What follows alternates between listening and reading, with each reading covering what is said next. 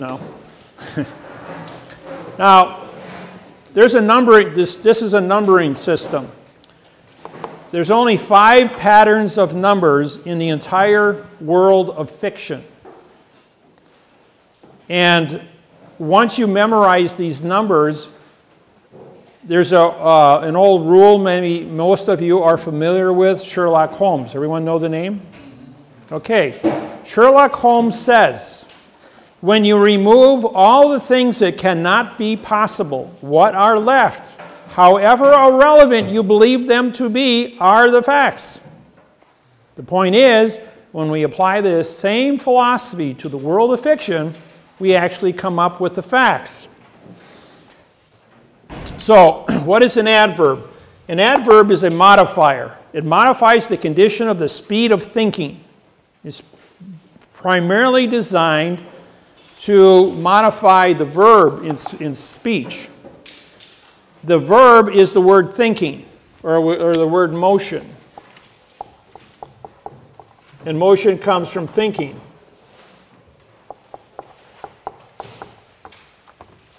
So the adverb is a modifier of speed. Now, when you modify something, you change it from its origin. Well, if it's not origin, it's perjury. Simple as that. If it is not the fact and you changed it, that's perjury. I don't care what language you speak, I don't care what country you come from, 8 billion people understand the word perjury. And so you've, you've told a lie because you've created an opinion.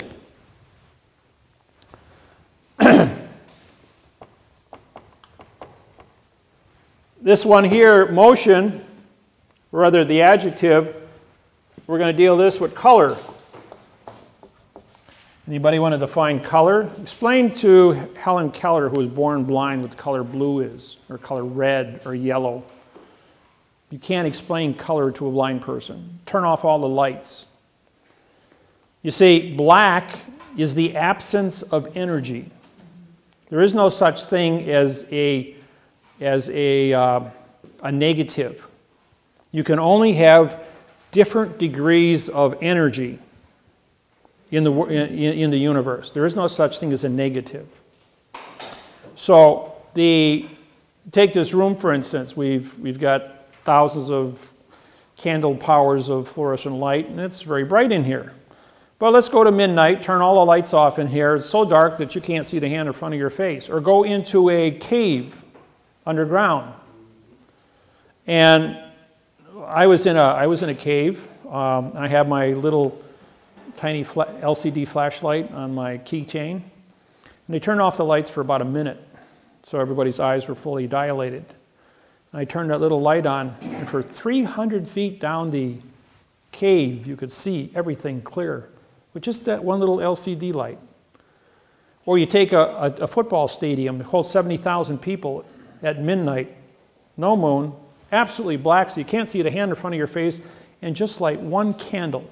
An entire stadium will be illuminated that you can see by one candle because you have black, which just the absence of energy, but even the smallest spark of energy creates an illusion, will give you the reflected illusion that is necessary.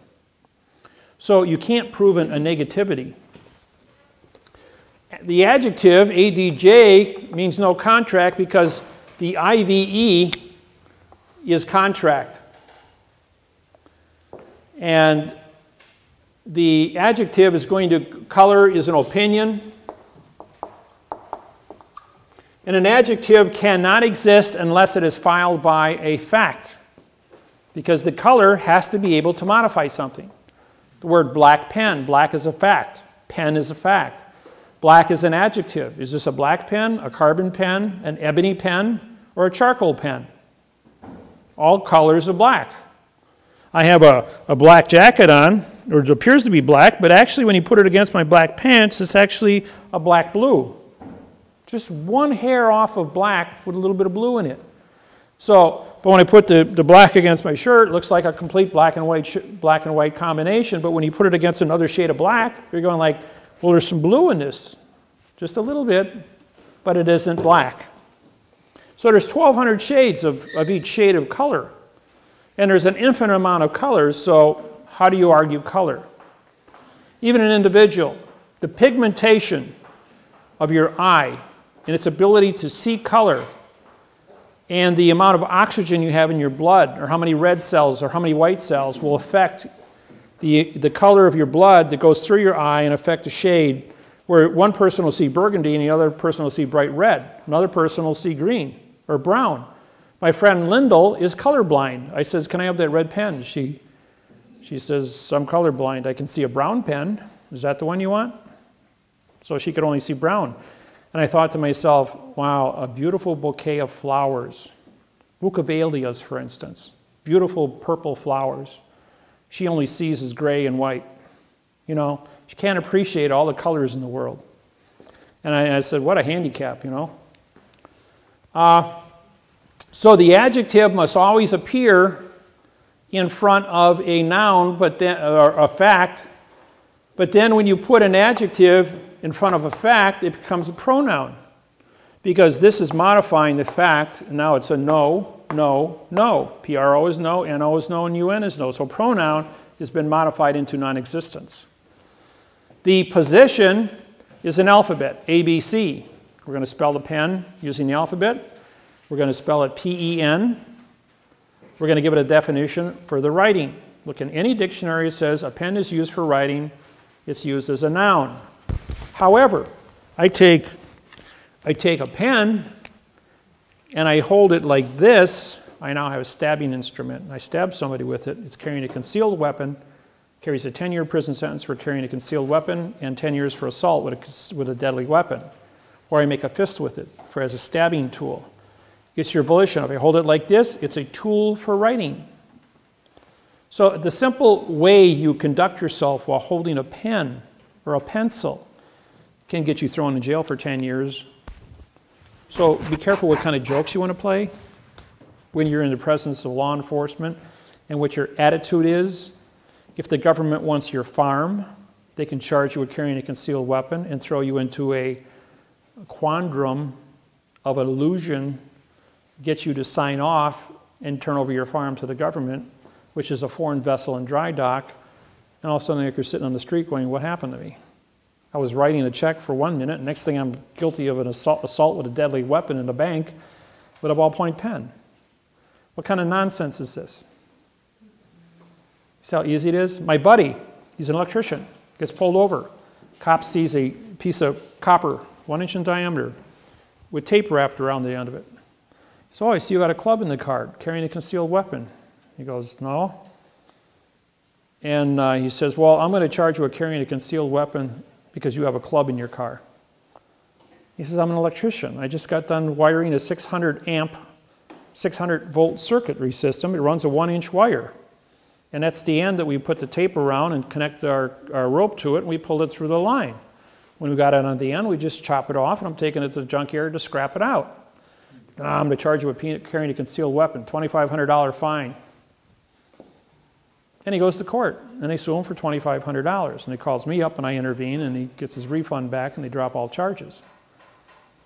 Just because I said, Can I see the correct sentence structure, communication, parse, syntax, language for carrying a concealed weapon? Oh, doesn't exist. Well, then how can you charge somebody with something that doesn't exist? Give him his money back. By the way, it shut down Adams County for, six, for three months, that little sentence. Because the man who charged him $2,500, the real judge walks out of the courtroom.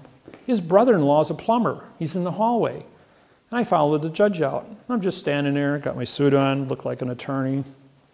And the, the judge goes, to us, hey, put my robe on go in there and take 2,500 bucks off this guy and put him in jail for 30 days.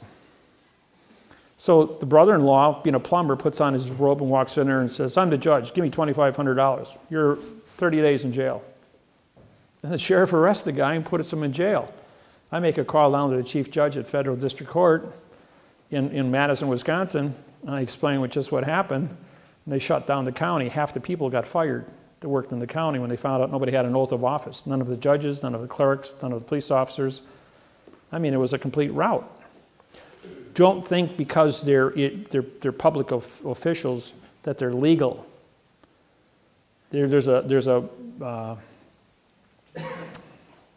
there's a, there's a movie that just came out a couple of years ago at Denzel Washington where he's a, uh, a drug dealer. When, when he blew the whistle back in the 60s, half, 60% of all the police officers in New York City and Manhattan Island were arrested as co conspirators for drug dealing.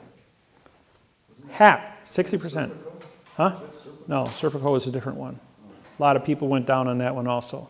But this is where a drug dealer turned state's evidence under the uh, False Claims Act. And uh, Compton, Compton is the second largest county in the United States, next to Los Angeles County, was taken over by the Crips in the Bloods. When the FBI went in there and broke that up, uh, 60% uh, of all the people that worked in government, from judges, attorneys, police officers, clerks, uh, all went to prison. And Compton was under the, the jurisdiction of Los Angeles County for eight years before they were able to reform a government. Don't think it can't happen. Yes? So what can we do when we have a county sheriff that has a, you know, the, the oath that they've been using for years, the one that is on file currently is completely void of any. Send it to me in an email. I'll syntax it and send it back to you. In Hawaii, we have 92 judges. We syntax all 92 oaths. When, when the Hawaiian kupunas walk into court, they hold up the oath and say, You have false and misleading information. You're not a judge. We have the clerk's false misleading information. And then what they do next is they prick their finger and put blood on whatever document was brought them into court, saying we have, it's called koko. Hawaiian word for blood is koko. Well, quote, the, the paper is fraud. The language is fraud. The blood is human. Therefore, it's real. How does fraud and fact come together? Can't. Vacates the contract. Therefore, they don't have authorization, they don't have an oath, and the cases are vacated and the Hawaiians go home. That easy. So can we do that in court here? You can try it. You're not in a sovereign position like the Hawaiian people are because you are a postal employee, but you did walk into a foreign vessel in dry dock under false pretenses. So it's, it's easier to take your, the paperwork that's generated by the state in fraud, if it exceeds $21, now becomes a federal crime under false and misleading information. Uh, a lot of times, like uh, in March, I was in, in Honolulu and I sat in on Kern's court. There were 13 felony cases brought in facing five to $10,000 fines and two to 10 years in prison. Judge says, So your lucky day, ladies and gentlemen as each one of the people were brought in. They all got $20 court costs in case were vacated in front of me. Nobody knew what happened, but the judge and I did. Number 13 came in, fifth drunk, 44 year old man, five times drunk driver. Doing, he blew a 3.4. Legally, he should be dead. Cause a car accident for two people in a hospital. That's public safety violation. That I won't, I won't deal with public safety, first off. Judge says, Well, it's your lucky day, sir. Uh, we're only going to charge you how much? $2,000 today instead of 10 because it's your fifth offense. And instead of 10 years in jail, we're going to give you three years in jail. Is that okay with you, sir? And he goes, Oh, thank you, Judge. Uh, why are you being so generous? He says, Well, it's just your lucky day today. DA goes, I object. Judge said, objection noted. Write it up. He writes it up.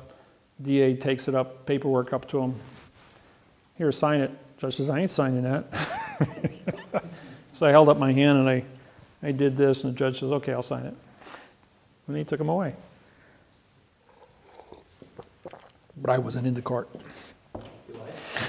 I says, but I wasn't in the court. Yes.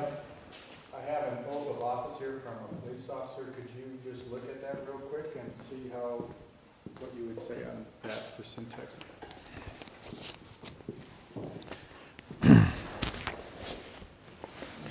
I'll even put it up here on the board. It'll be a good lesson for everyone here. Meantime, you can ask me a few questions. How's that sound? I got a question. What Paul was referring to Yeah? The oath of office like that is filed, but every blank, every line is completely blank, nothing written in. And that's a certified copy. We're just going to use this as the person's name. Okay, if it's more than double spaces, what you have is a, uh, a, a, a group of pronouns that are on the paper. There's no legal sentence called grammar. Now, this is a, we're going to use these dashes to represent character spaces.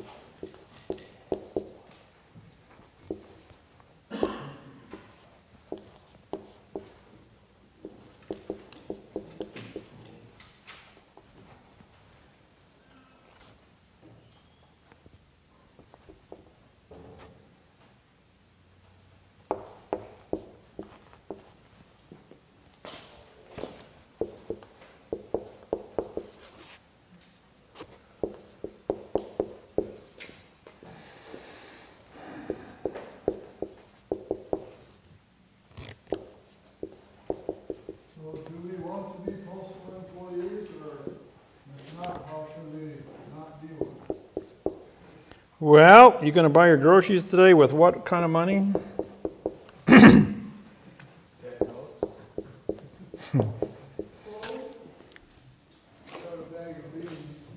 Well, if you want to go, you go ahead and barter.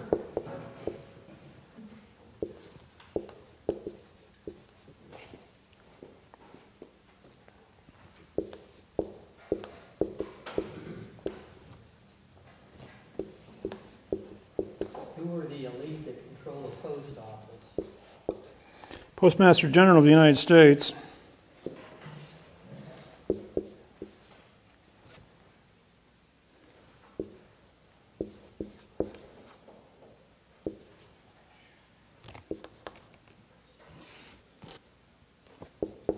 Wouldn't it be better for you to run for postmaster general than president?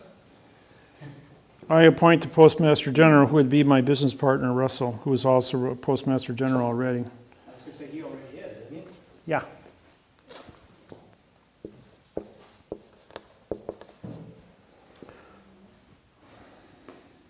So how do we vote for you in Klein? I'm a write-in vote under the, uh, under the uh, Director Party. Is that listed? You got to write it in. Yeah, write in. Yep. Everybody's been given instructions on my website. Is it possible to do that on an electronic voting machine? Yep, Do you have to be registered in order to go in and vote? yep.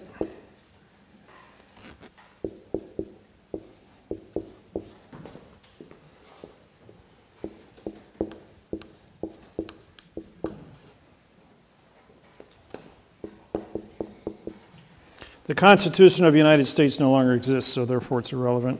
State of Illinois is a verb. I'll just take that. All right.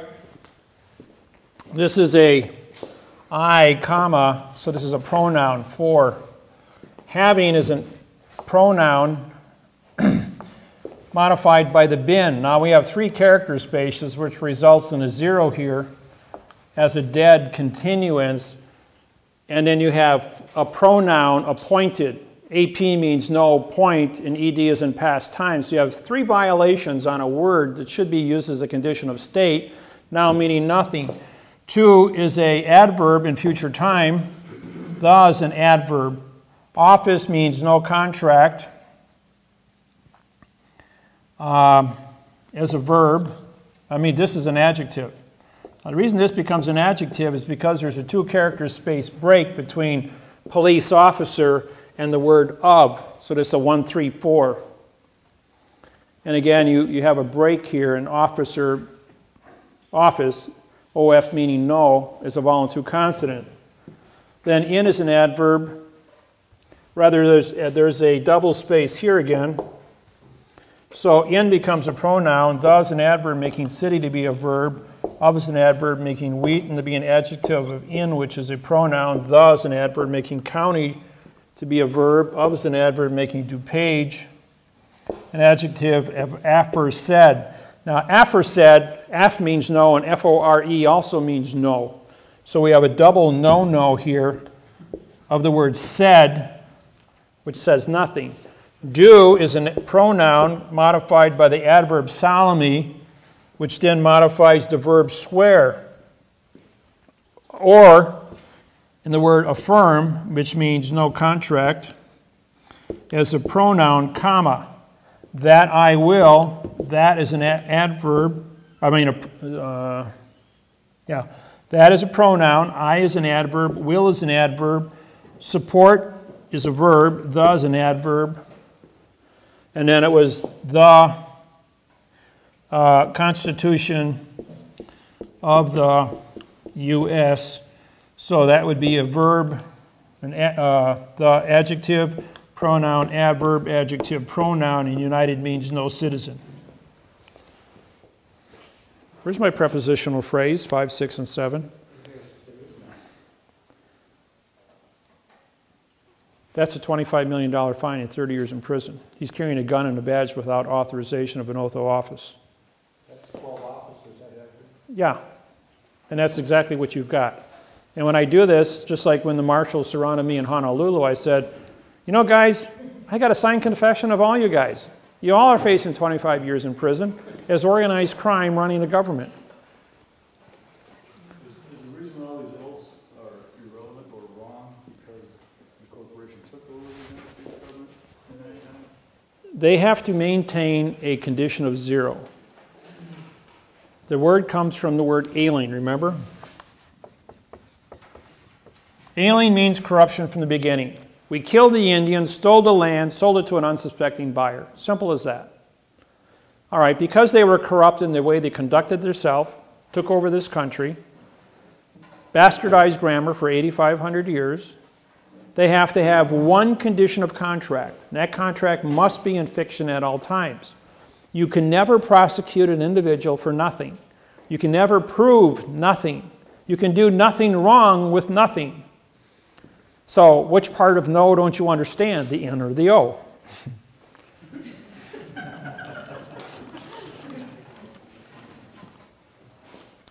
and, you know, when you look at this, for you to go ahead and say, all right, anybody feel like a pronoun today? I. Where's your condition of contract? For the I? Why isn't there a name here? What it should say is for the, the person's first name and second name with the punctuated words with the knowledge of a contract, not appointed. He has to sign a contract. I mean, why would he do the oath? He believes the oath is a contract, but here he's taken a position that he was appointed. Today it's mandatory that anybody that's a county sheriff has a four year college degree in criminology. 30, 40 years ago, it was anybody could say, okay, you're the sheriff, put on a uniform, put a badge on, carry a gun, hold up your hand, and that was it. Everybody heard of Judge Roy Bean, the hanging judge of New Mexico? He was played by, uh, they made a movie of him, and uh,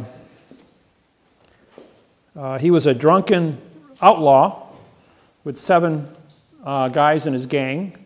And one day he uh, went to a bar and he found a law book in New Mexico. And he read it and he says, You know what? I'm going to get hung here pretty soon if I don't become a judge. And he made all of his outlaw buddies deputy sheriffs. And they went out and cleaned up New, uh, New Mexico and hung all the rest of the all the rest of the crooks. And he says, Well, as a judge, you know, I can steal their loot. I don't have to rob a bank. I can just find their loot under the laws of booty, B O O T Y, and I can keep it all. So I can let them steal it, catch them, keep the money, and hang them. He hung 88 men, never had an oath of office, was never went to a law school, and never a judge. He was only a presumption of a judge. Because nobody could read and write, there was nobody to challenge. But because he had his deputies and he had the law book there, and he knew a few tricks. As a result of that, he became what he became. What constitutes the fact of a judge or anybody that's an officer of the court? It's only your presumption. Don't forget, you've left Indiana, you've entered a foreign vessel in dry dock, and you speak Babel. Everyone has a second grade reading